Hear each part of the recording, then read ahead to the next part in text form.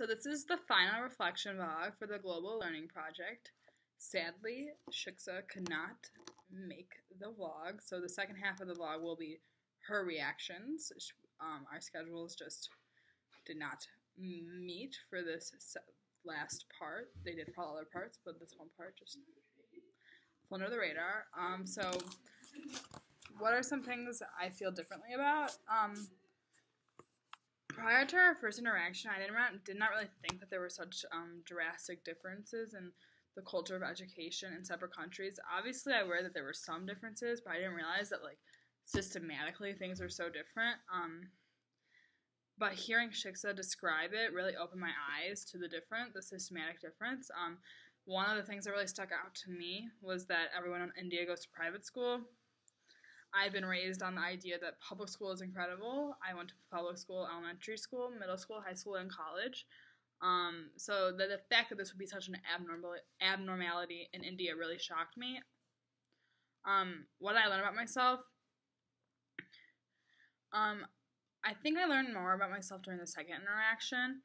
Um, I for so for the second interaction, I brought Shiksa to the Hillel house, and I was nervous at first, and I think this is kind of like a negative part of myself because I feel like there really should be no nerves when it comes to sharing parts of your culture.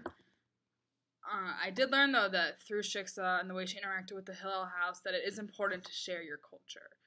Um, like I've said in past vlogs, someone does not really need to be a part of a culture to appreciate it aspects of culture can transcend stereotypical boundaries. And I think that's something, I think through the negative, it's positive. Um, what am I going to do is in MSU student differently? Um, definitely to try to be more inclusive, I think. I already try to be inclusive in everything that I do, but I do find that it's easy to get stuck in your habits, stuck in the way that things are, the way you, in the way that that the culture you are is. Um, I think it's important to create a space where MSU students from all types of backgrounds and culture feel not only safe but also appreciated and valued. So, how might this experience influence as a learner and as a possible educator? Um, so, I think that this really expanded the class for me because I saw like topics that we've been discussing in class come to light. I think that cultural immersion is essential for education and i think being uncomfortable is a very important part of education and i think sharing culture can be uncomfortable but you grow a lot because you gain you gain from being uncomfortable but it's it's hard to become uncomfortable but once you are you can gain a lot from it um so i think this just reinforced that for me and this really told me that cultural immersion is important as an educator and i definitely like in my future classroom if I have students from different cultures to make sure that all the cultures are being appreciated and valued the way that they should be. Overall, I really did enjoy this project and had a good time. Okay, so before we started the interaction, I was a little unsure, and I didn't really know like what's gonna happen or how to feel or like what people's rea- or her reaction is gonna be. But like during when I was actually like talking about the schooling process, it was it was really interesting, and I like really liked talking about it because I guess I've never really discussed it with someone that openly and like people who don't already know about that process.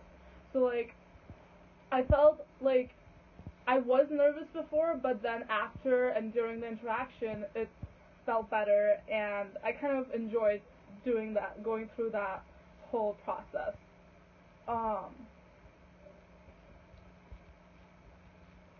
I guess like one positive thing that I learned from it was how how while we are from different cultures, we also have a lot of similarities, and it was uh, great to experience that from someone who obviously didn't grow up in the same environment as I did. So I really enjoyed that. Um, uh, as an MSU student, this I would obviously look at MSU in a different light. There are a lot of different cultures represented here, and I feel like I would be able to connect with them more because of this process. And I really enjoyed it. Okay, good.